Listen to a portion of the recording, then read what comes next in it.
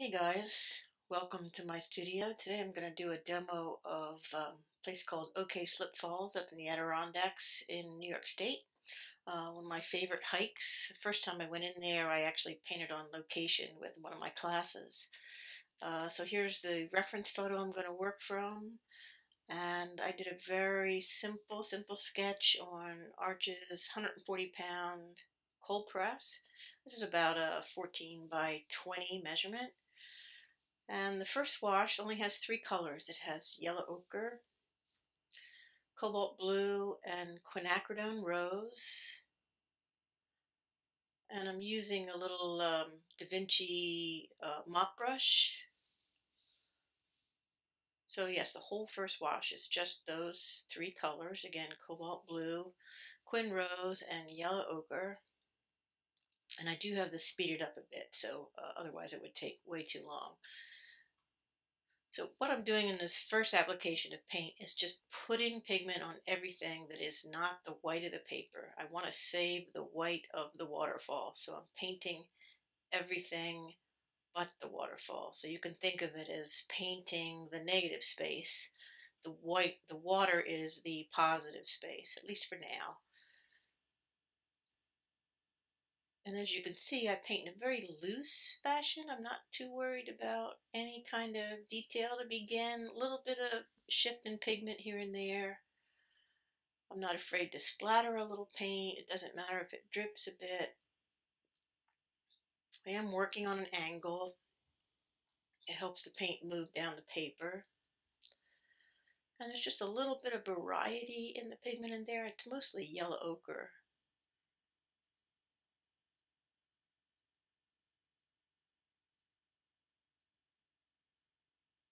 A little quin rose put into that mixture. Softening some edges.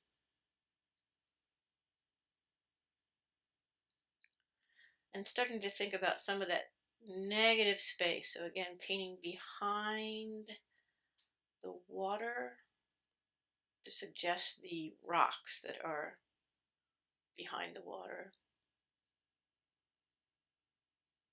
But not thinking about really rocks or trees or light or shadow right now. Just getting some pigment in there so that I can see the white of the waterfall. And I, I could use masking on this, but it's a large enough painting that I don't really feel like I need to.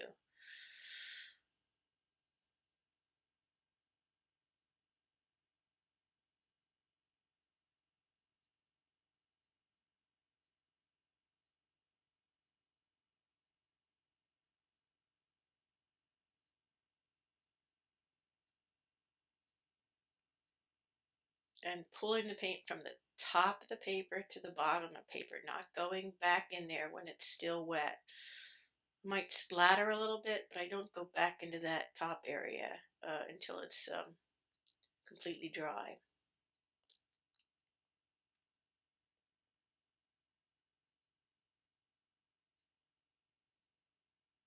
Use my spray bottle a little bit to keep it nice and damp.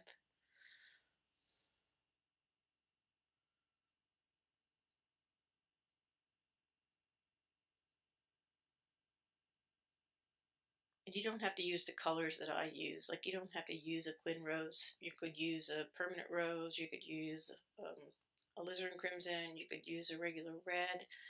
Really any red, yellow, blue. Because then you can get these nice kind of smoky neutrals.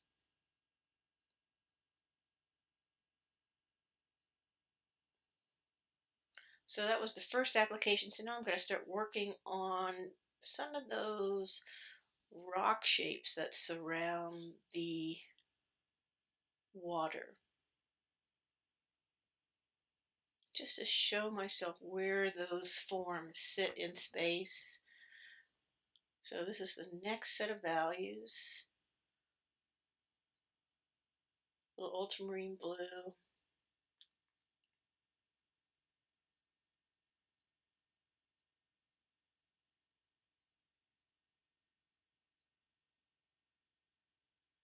There's yellow ochre. There's some, some more quin rose.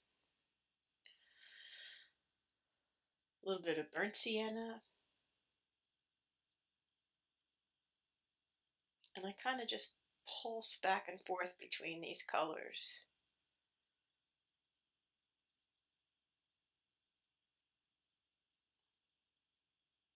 Still not thinking about painting rocks, just shifting warm to cool, lighter to darker, softening edges. I'm just suggesting form.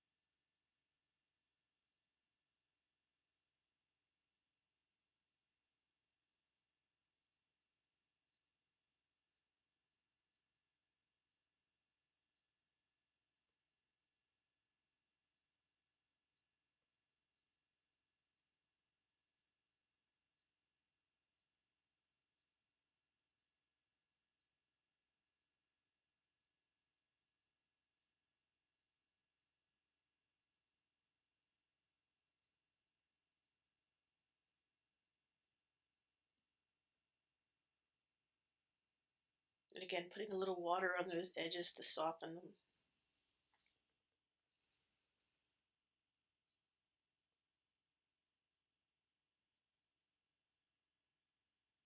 That was a little burnt sienna. Ultramarine blue.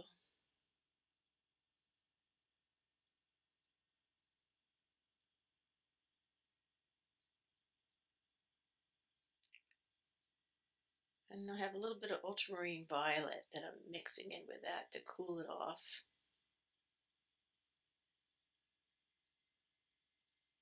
Reinforcing those vertical shapes of the rocks that are underneath the water. And softening edges with a damp brush.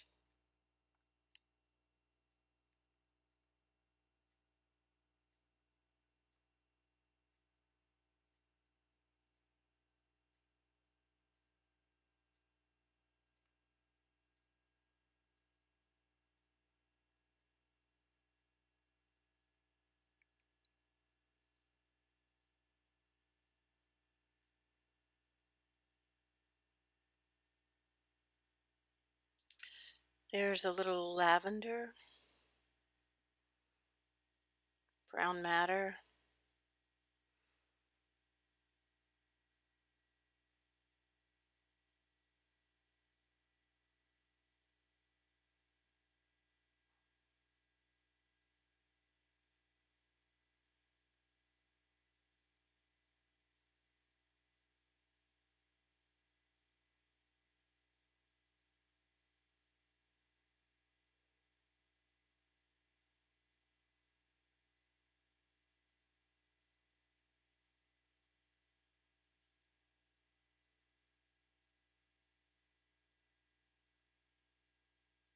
So it's really all just the same color still. I'm just kind of moving back and forth from kind of warm to cool.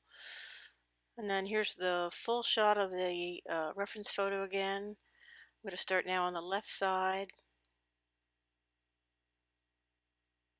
This is one of my Escoda Prado brushes. I believe this is a number 8. These are great because they have a really nice point.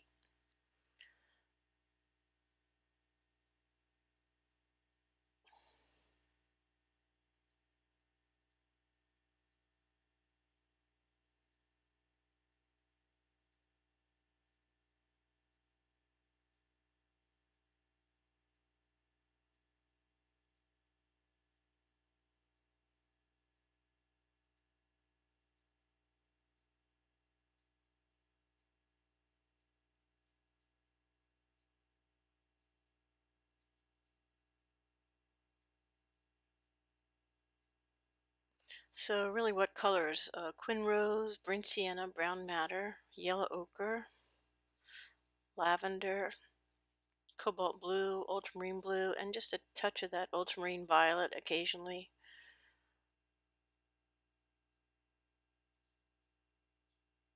So do you see how I suggest rocks without painting rocks? I'm just going light to dark, warm to cool, leaving a bit of that underpainting as the light on the rocks or the water on top of the rocks.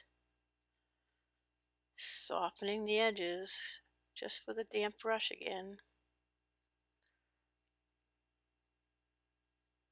And the lavender is a great color for suggesting the transition between the rocky area and where the waterfall is because it hints at um, the splashy water uh, and the moving water. A little darker down here at the bottom.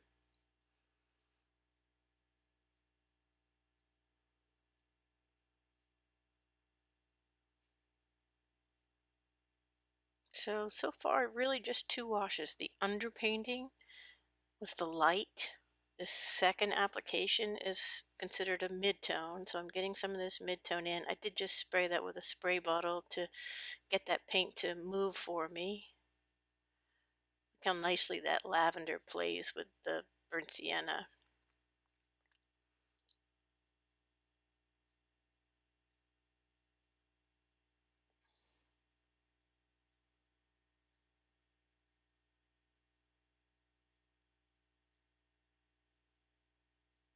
And I know that this is just the second application of paint, so I don't have to worry about any kind of detail. Just trying to speak a little bit about the form in there.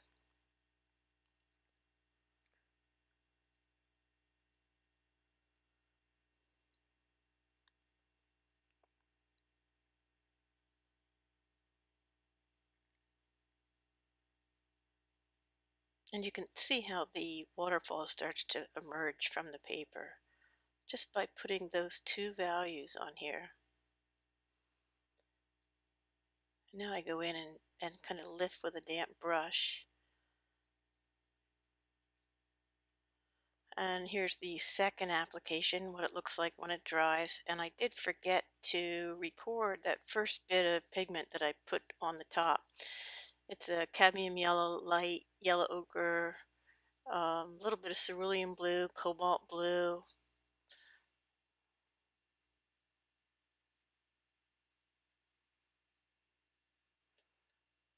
Doing some splattering, mixing some darker greens.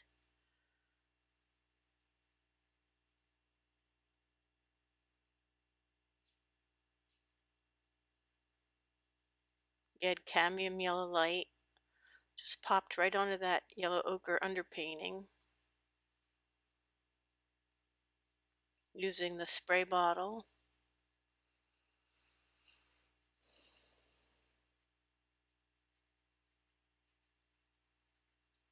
And that was cerulean blue and yellow ochre. Oop, starting to rain really heavy here. You may be able to hear that through my um, microphone. We're expecting tornadoes today here in Delaware and uh, winds of up to 60 miles an hour, so hopefully I will not lose my power.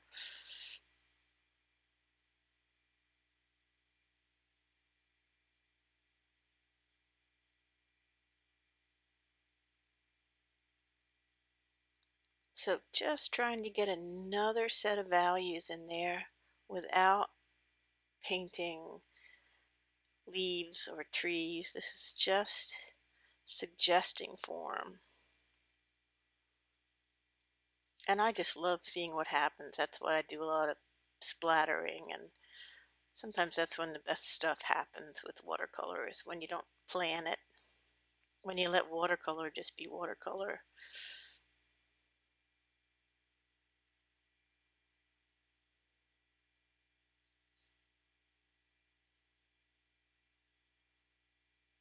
And I keep connecting shapes working from top to bottom. I don't jump around.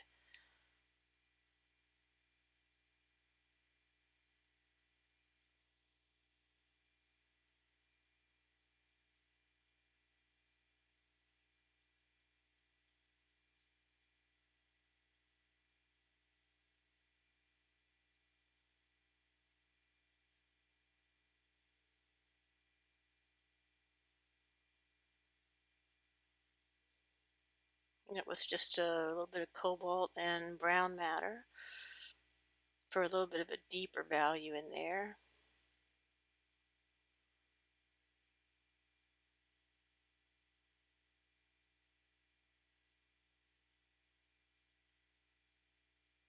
And you can really take your time when you're working like this because again we know that it's not the final application of paint.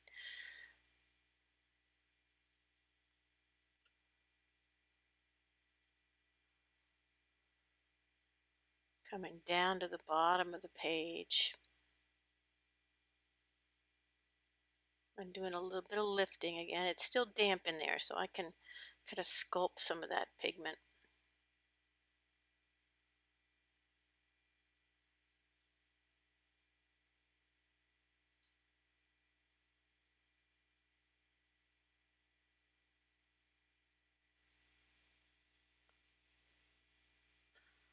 And splattering to suggest texture.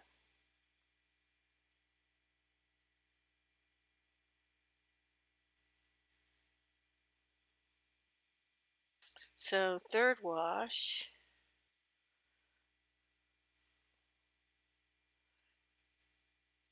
Starting to put in some of those darker forms that are in the foreground.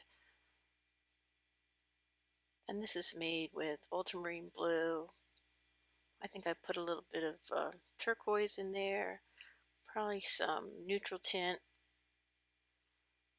a little yellow ochre, and again a spray bottle, keeping it nice and juicy. And I'm back to using a big mop brushes. This is one of my Escoda, um, I'm not sure which one it is, but it's a squirrel mop probably a 14.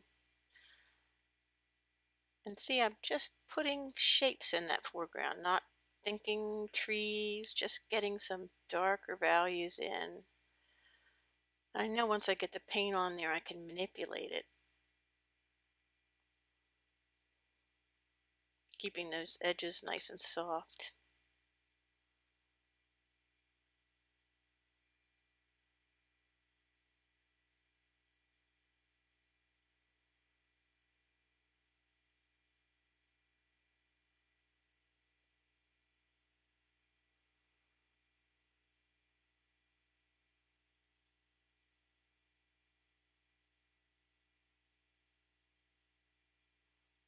A little more of that turquoise mixed in there.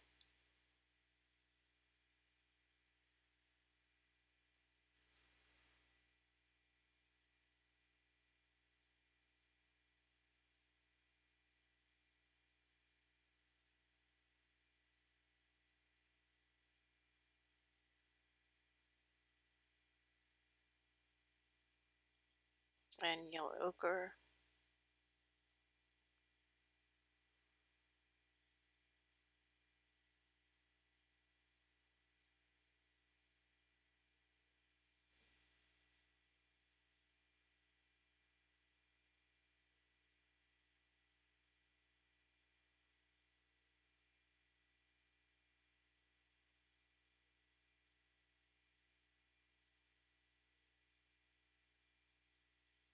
Just establishing those darks in the foreground.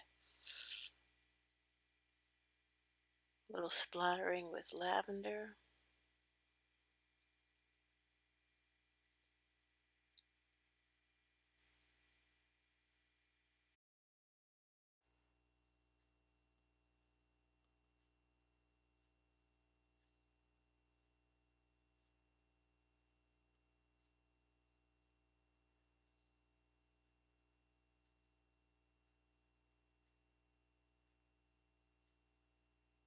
Just getting a little bit of texture, some darker value in there. Clean water.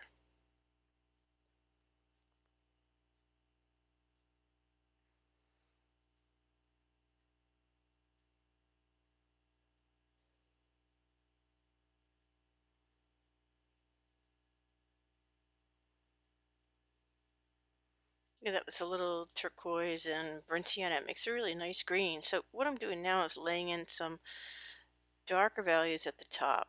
and I'm thinking about the rocks by the waterfall and these darker values are going to go behind some of these rocks which are lighter.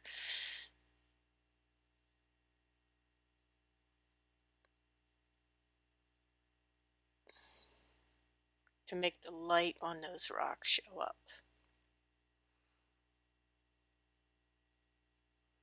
Still not painting trees.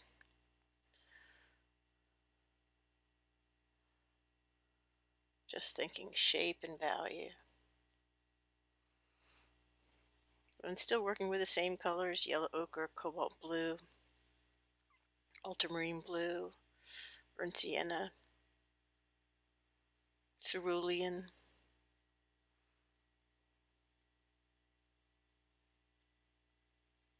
And you see how you can use the underpainting as the light, the highlight on some of these shapes.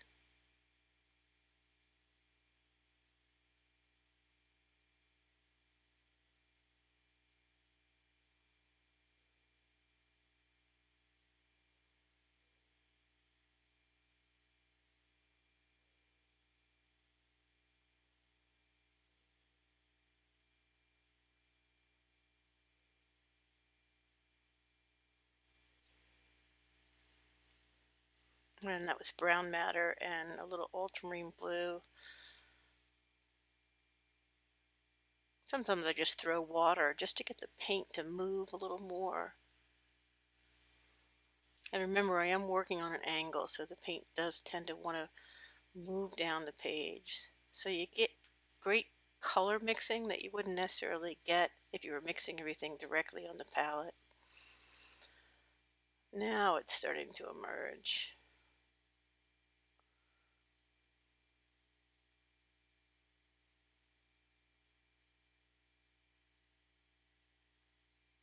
And again, my uh, handy dandy spray bottle, which is such an important tool.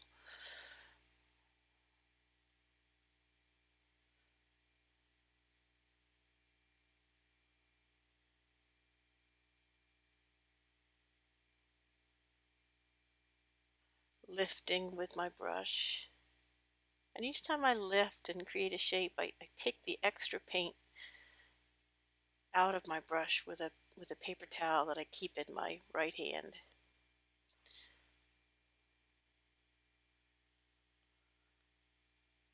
That has a nice sense of light in there now. Now deepening the rock shapes a little bit, putting a little more value in some of those places.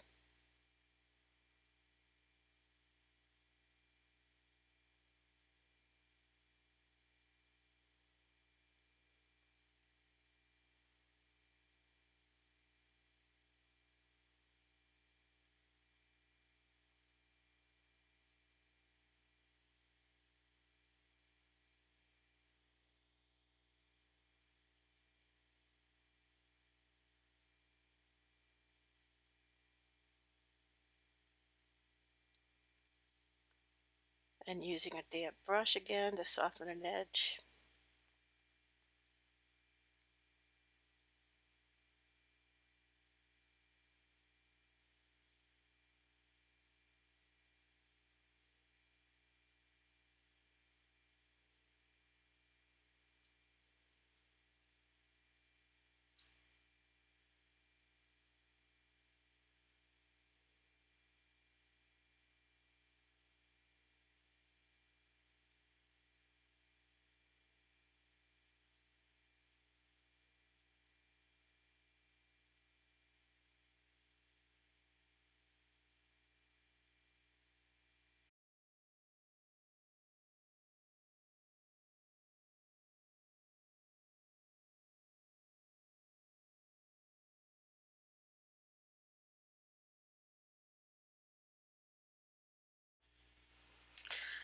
And then here is the finished painting. I do apologize, I forgot to record the last little bit of this where I put in some of those darker darks up at the top.